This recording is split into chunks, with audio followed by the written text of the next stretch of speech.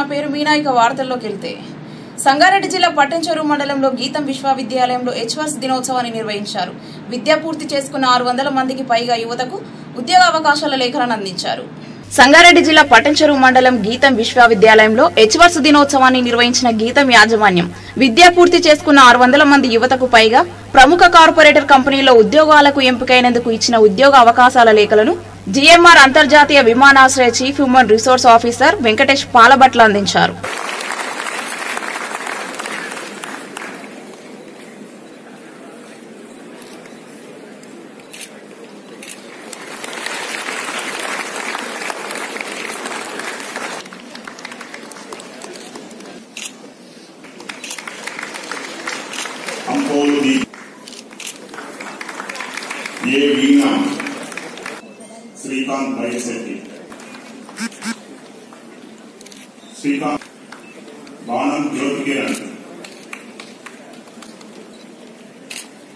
Just remarkably, I got reminded by the faculty over here.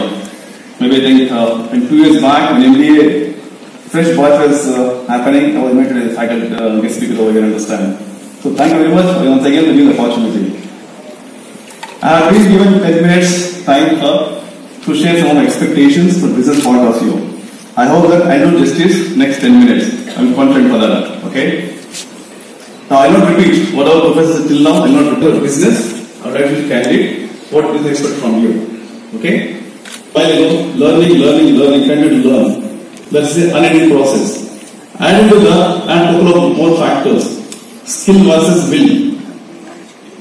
Am I? Skill versus will. Company expect you to perform many things. Develop the ability of performing various skills. You must acquire that ability. Today, you click a button, I can acquire so much knowledge today. I can learn HR analytics, I can learn HR and uh, extent of you know dashboards, I can talk the extent of intelligence, I can talk about artificial intelligence, I can talk about that. opportunities. And there are challenges, challenges always will be there in our day-to-day life. But how to overcome all challenges are going to be the opportunities for you. You have to convert as a, an opportunity. Even though you may not uh, solve the problem, you are going to learn something. That learning will become a platform for the next level of problem. That's how you take it up. Don't be panic and I, I, I know you won't people will panic about the challenges. You're always taking up the challenges and accepting the challenges while studying the program itself. You would have been signed in that particular area. So you should be on your toes of learning. Learning should be a joy. Then only you will survive. If you feel learning is a pain, no place. Every day I am learning something new. Will it be joy or not? Definitely will be joy. నా పేరు కృతిక. నేను fourth year ఈ మధ్య complete చేసుకున్నాను and this Gitam college is very extraordinary college because all of the people over year మాకు చాలా support చేశారు. Everybody the training department and the placement department everybody the faculty coordinators మేము బాగా especially మా thanks ఎవరికి చెప్పుకోవాలంటే it is to our faculty coordinators వాళ్ళు మాకు చాలా చాలా ఎక్కువ గైడెన్స్ ఇచ్చారు. and I got placed in three companies Wipro NTT data and వచ్చేసా సో నాకు ఇంత మంచి ఆపర్చునిటీ వచ్చింది నేను ఇంత బాగా డెవలప్ అయ్యాను ఇదంతా అంటే that's all because colleges thing so I'm very thankful thank you ఎంత ప్యాకేజెస్ మీకు నా త్రీ కంపెనీస్లో my packages average packages like three point six like thirty K per month so I'm very glad with it as special I don't expect more so so thank you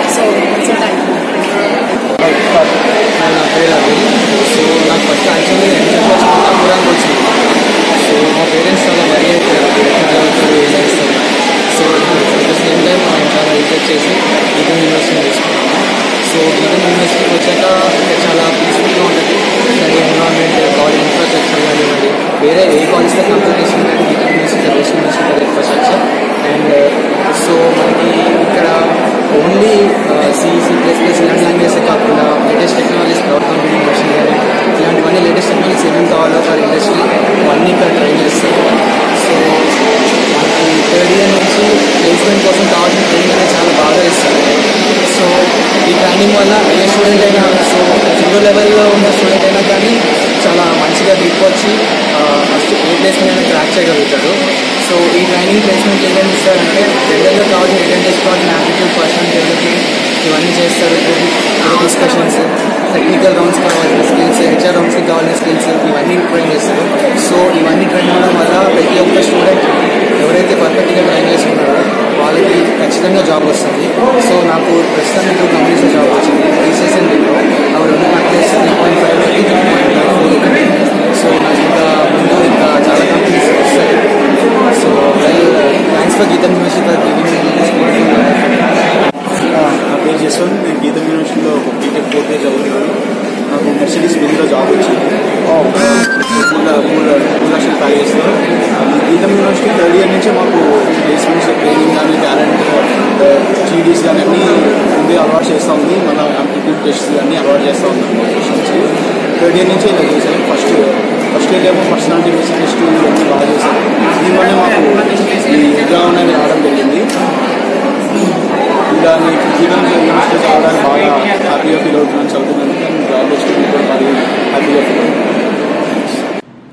Jogulamba Gadwal జిల్లా వడ్డేపల్లి మండలంలో parliament ఎన్నికల సందర్భంగా Congress party అభ్యర్థి doctor Mallu Ravi media సమావేశం ఏర్పాటు చేశారు.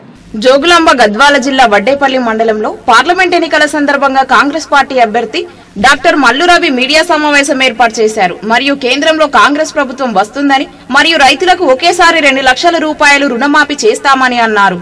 ఈ కార్యక్రమంలో మాజీ ఎమ్మెల్యే సంపత్ కుమార్ డాక్టర్ చిన్నారెడ్డి కాంగ్రెస్ కార్యకర్తలు పాల్గొన్నారు. డెవలప్మెంట్ రెండు ఇక్కడ టెంపుల్కు సంబంధించి archaeology department permission archaeology department permission ఇచ్చే విధంగా పార్లమెంట్ చేసి ఈ టెంపుల్ని ఆధునీకరణించ చేసే కార్యక్రమం చేస్తాను ఇవి ప్రస్తుతానికి నేను నాకు తెలిసినటువంటి సమస్యలు ఇంకెన్నో సమస్యలు చెల్లా వెంకటరామరెడ్డి గారిని సంపత్ కుమార్ గారిని ఇద్దరిని అడిగి తెలుసుకుని ఆ సమస్యల పరిష్కారానికి నిరంతరం అందుబాటులో రెండు లక్షల రూపాయల ఒకేసారి మాఫీ చేస్తానని వాగ్దానం చేశారు. భారతదేశంలో ఉన్నటువంటి పేద ప్రజలందరికీ కనీస ఆదాయానికి ఎంత అవసరమో అంత డబ్బుని ఆ పేదవారి బ్యాంక్ అకౌంట్లో ప్రతి నెల వచ్చే విధంగా ఏర్పాటు చేస్తున్నాను.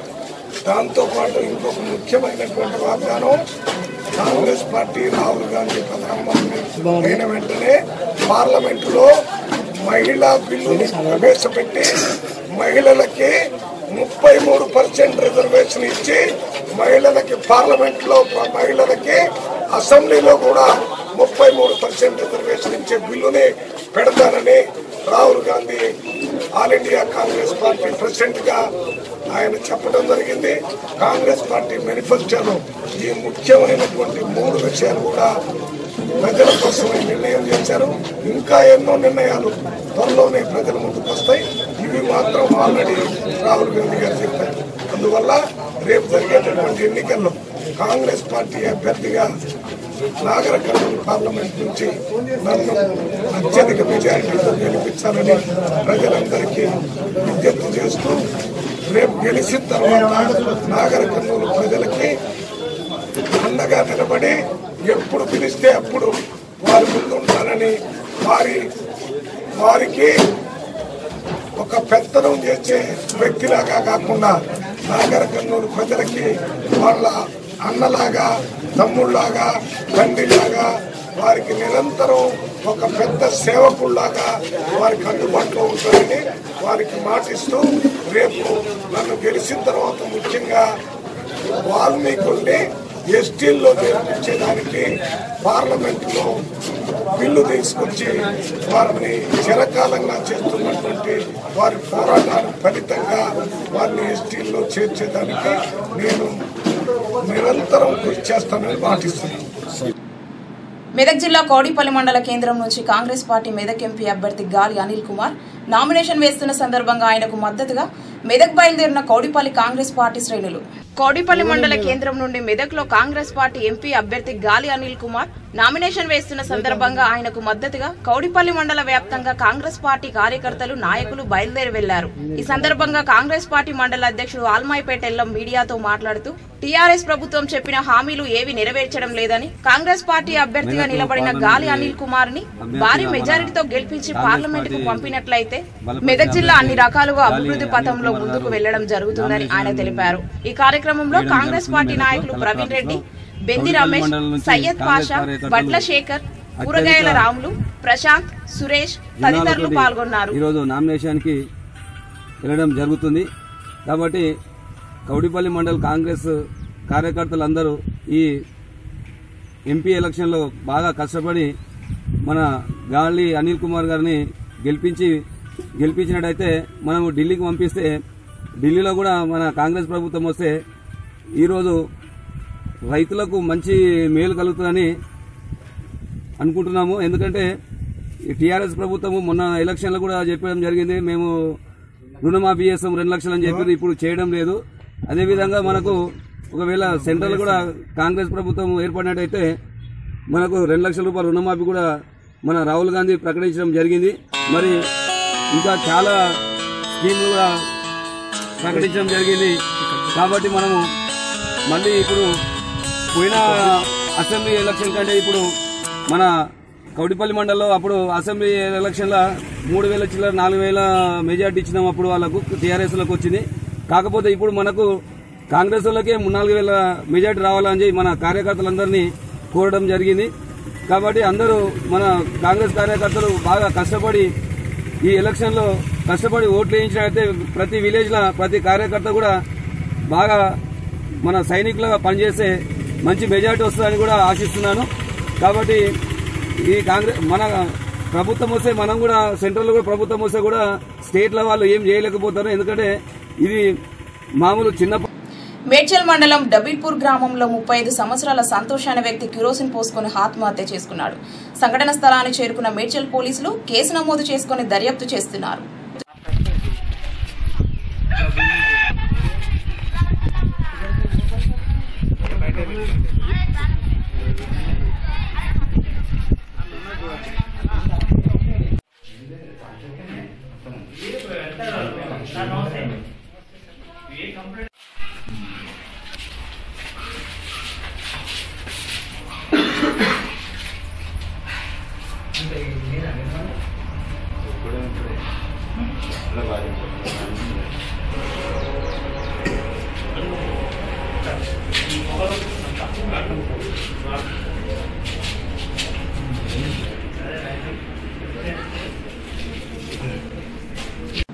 కామారెడ్డి పట్టణంలోని శ్రీ పొట్టి శ్రీరాములు విగ్రహం వద్ద మురికి కాలువలో గుర్తు తెలియని వ్యక్తి మృతదేహం లభ్యం.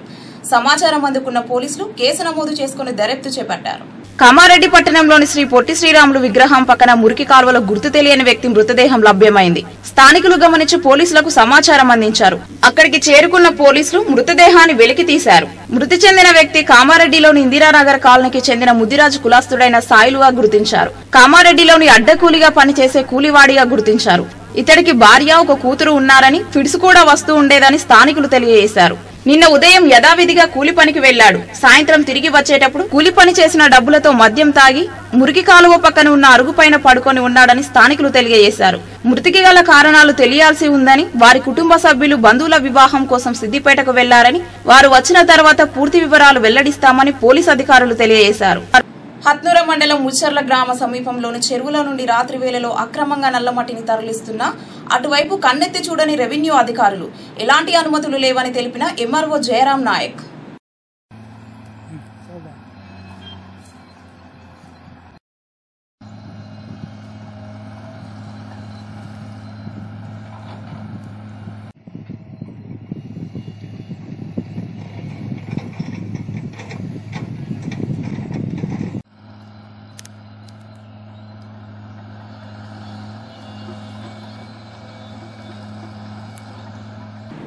Siddipet to Karimnagar bypass పై ఈ రోజు జరిగిన రోడ్డు ప్రమాదంలో ఒక వ్యక్తి మృతి చెందగా మరొకరి పరిస్థితి విషమంగా ఉన్నట్టు తెలుస్తోంది. అతివేగం మరియు లారీ తప్పిదం వల్ల ప్రమాదం జరిగినట్టు స్థానికులు తెలుపుతున్నారు. సిద్దిపేట టు కరీంనగర్ బైపాస్ పై రోడ్డు ప్రమాదం జరిగింది. ఈ రోడ్డు ప్రమాదంలో ఒక వ్యక్తి అక్కడికక్కడే కాలు పోగొట్టుకుని అధిక రక్తస్రావంతో మృతి చెందారు. మరొకరు పరిస్థితి విషమంగా ఉన్నట్టు తెలుస్తోంది. సమాచారం అందుకున్న పోలీస్ సిబ్బంది కేసు నమోదు చేసి దర్యాప్తు చేపట్టారు. అతివేగం మరియు లారీ తప్పిదం వల్లే ప్రమాదం జరిగినట్టు తెలుస్తోంది. పూర్తి వివరాలు ఇంకా తెలియాల్సి ఉంది.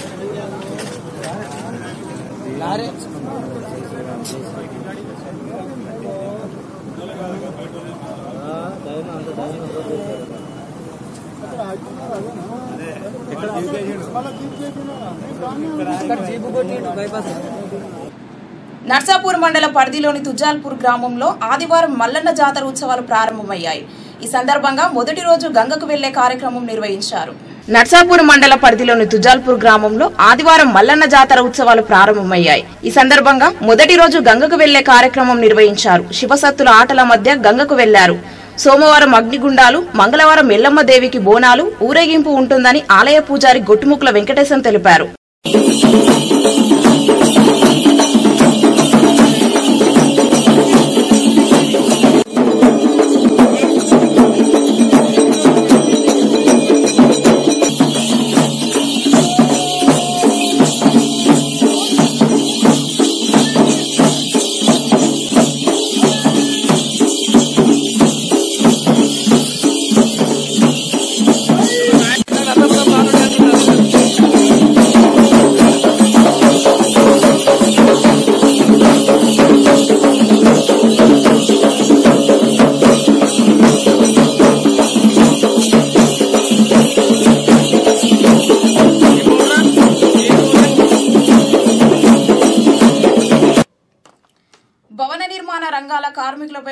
ప్రభుత్వం చిన్నచూపు చూస్తోందని భవన నిర్మాణ కార్మికులు ఆవేదన వ్యక్తం చేశారు. సోమవారం నర్సాపూర్లో ఏప్రిల్ రెండున మెదక్ మాచవరంలో నిర్వహించనున్న ఎనిమిదవ జిల్లా మహాసభకు సంబంధించిన వాల్ పోస్టర్ని వారు విడుదల చేశారు. భవన నిర్మాణ కార్మిక సంఘం జిల్లా ఉపాధ్యక్షులు పడిగే నర్సింహులు రాష్ట్ర నాయకులు కొండి దుర్గేష్ మాట్లాడుతూ భవన నిర్మాణ కార్మికుల సమస్యలపై ప్రభుత్వం ఎన్నో మాటలు చెప్పి వాటిని అమలుపరచడంలో విఫలమైందని వారన్నారు. ఇప్పటికైనా ప్రభుత్వం స్పందించి భవన నిర్మాణ కార్మికులు ఎదుర్కొంటున్న సమస్యలు పరిష్కరించాలని వారు కోరారు. ఈ కార్యక్రమంలో మెదక్ పట్టణ అధ్యక్షులు కృష్ణ యాదవ్ మార్గం మల్లేష్ ఆంజనేయులు సుధాకర్ గణేష్ తదితరులు పాల్గొన్నారు. జరుగుతున్న సంస్థ నుంచి మేము ఎనిమిదవ జిల్లా మహాసభ నిర్వహిస్తున్నాము. ఏప్రిల్ రెండవ తారీఖు రోజు అందరూ కార్మికుల సంఘాల నుంచి ప్రతి ఒక్క కార్మికుడు వచ్చి తన యొక్క తన యొక్క కార్మికులను అందరూ ఆహ్వానించడం కోరుతున్నాము. యాభై ఐదు సంవత్సరాలు నిన్న వారికి ఈఎస్ఐ సౌకర్యం కల్పించాలని అలాగే ఎన్నో సార్లు మేము ఇప్పటికీ రెండు సార్లు మూడు సార్లు నాయన్ నరసింహారెడ్డి గారి నేతృత్వంలో మేము వెళ్ళి అక్కడ కలిశాము. వాళ్ళు మాకు ఉపాధి హామీ పథకం కింద డబుల్ బెడ్రూమ్లో ఈఎస్ఐ సౌకర్యం ఈఎస్ఐ సౌకర్యం కల్పిస్తారని అన్నారు. ఎనిమిదో మహాసభ జరుపుకుంటున్నాము.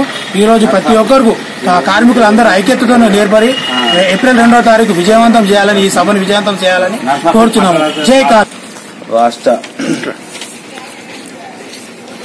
మెదక్ జిల్లా నాయకులు దుర్గేష్ గారు మన మెదక్ జిల్లా అధ్యక్షుడు రామ్దేవ్. అన్న గారు పట్టణ అధ్యక్షుడు. మెదక్ పట్టణ అధ్యక్షుడు నరసింహులు గారు రమేష్ గారు నరసింహ జిల్లా ఉపాధ్యక్షుడు నరసింహులు గారు వీళ్ళందరూ మన ఇతర మేస్త్రి సంఘాల అధ్యక్షులు గారు అందరూ కూడా దీంట్లో పాల్గొని అందరు దిగ్విజయం చేయాలని ఇంతకుముందు మేము నాయన నరసింహుడు ఉన్నప్పుడు రెండు మూడు సార్లు కూడా అతన్ని మనం టచ్ చేసి ఉన్నాము. వాళ్ళు ఏం చేశారంటే ఈ ఒకటి మనము అరవై యాభై ఏళ్ళ సంవత్సరంలో పింఛన్లు ఇస్తా అని చెప్పారు అదేవిధంగా ఇతర డబుల్ బెడ్రూమ్లు కానీ ఈఎస్ఐ కానీ ఈఎస్ఐ హాస్పిటల్. సౌకర్యం కానీ గతంలో అన్ని కూడా చెప్పారు. మనకి ఏది కూడా హామీలు ఇచ్చినా కానీ ఇంతవరకు ఏది నెరవేరలేదు. అందుకోసం మనము ఎనిమిదో మహా మహా జిల్లా మహాసభకు అందరం కూడా దిగ్విజయంగా మన వేల సంఖ్యలో పాల్గొని దానికి మనం అందరం మన కృష్ణ యాదవ్ మాట్లాడుతున్నా. మా భవన నిర్మాణ కార్మికులకు తీరని అన్యాయం చేస్తుంది గవర్నమెంట్. ఏమిటంటే ఇప్పుడు ఉపాధి హామీ కార్మికులను ఈ రంగంలో చేర్చుకొని అసలైన భవన నిర్మాణ కార్మికులకు న్యాయం చేయకుండా తీరని అన్యాయం చేస్తుంది. భవన నిర్మాణ కార్మికులకు యాభై సంవత్సరాలు నిండిన వ్యక్తికి పెన్షన్ సౌకర్యం కానీ ఈఎస్ఐ హాస్పిటల్ సౌకర్యం కానీ మరియు భవన నిర్మాణ రంగాలకు డబుల్ బెడ్రూమ్ ఇండ్లు కానీ ఇవ్వాలని రేపు ఏప్రిల్ రెండున జరగబోయే భవన నిర్మాణ బహిరంగ సభ మెదక్ జిల్లా మహాసభకు ప్రజలందరూ మహాసభకు విజయవంతం చేయగలరని కోరుచు మరిన్ని వార్తలు సంక్షిప్తంలో చూద్దాం. కౌడిపల్లి మండల పరిధిలోని తునికి నల్లపోచమ్మ ఆలయాన్ని మూడవ రోజు భాగంగా తూప్రాన్ డీఎస్పీ కిరణ్ కుమార్ ఆలయాన్ని దర్శించుకొని అమ్మవారికి ప్రత్యేక పూజలు నిర్వహించారు. ఆలయ ఈవో సారు శ్రీనివాస్ శాలువతో ఆయనని సత్కరించారు. అనంతరం డీఎస్పీ మీడియాతో మాట్లాడుతూ ఆలయం వద్ద గట్టి బందోబస్తు ఏర్పాటు చేశామని ఈ రోజు ఆలయం వద్ద బండ్ల ఊరేగింపు కార్యక్రమం ఉన్నందున వెహికల్ పార్కింగ్ విషయంలో గాని అన్ని రకాలుగా పోలీసులు అందుబాటులో ఉన్నారని ఎలాంటి అవంఛనీయ సంఘటనలు జరగకుండా ఎప్పటికప్పుడు పోలీసులు వాకప్ చేస్తున్నారని ఆయన తెలిపారు. ఈ కార్యక్రమంలో Narsapur Saidulu Kowdipally SI Srinivas Narsapur SI Sandeep Reddy Chilipiched SI మల్లయ్యలు పాల్గొన్నారు.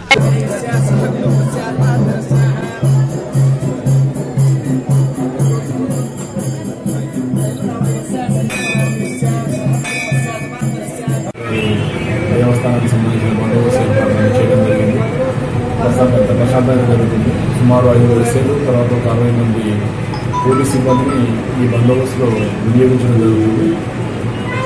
ట్రాఫిక్ రెగ్యులేషన్ పార్కింగ్ తర్వాత టెంపుల్ క్యూ లైన్లకు సంబంధించి ముఖ్యంగా బందోబస్తు ఏర్పాటు జరిగింది. తర్వాత ఎలాంటి అవాంఛనీయ సంఘటనలు జరగకుండా ఉండడానికి తర్వాత ఎలాంటి ప్రాపర్టీ అఫెన్సెస్ కూడా జరగకుండా ఉండడానికి లేదా గోడలు కూడా జరగకుండా ఉండడానికి మా వాళ్ళు విధులు గుర్తిస్తున్నారు. ఇంకా ఇలాంటి ఏమైనా ఇబ్బంది ఉంటే పోలీస్ కంట్రోల్ రూమ్లో ఇన్ఫామ్ చేయొచ్చు. పోలీస్ వారి సహాయం తీసుకోవచ్చు. దర్శనానికి ఇంకా ప్రాబ్లం అయితే లేదు ఇవాళ ఇవాళ రేపు మార్నింగ్ బళ్ళు తిరిగే కార్యక్రమం ఒకటి ప్రాసెస్ ఉంది.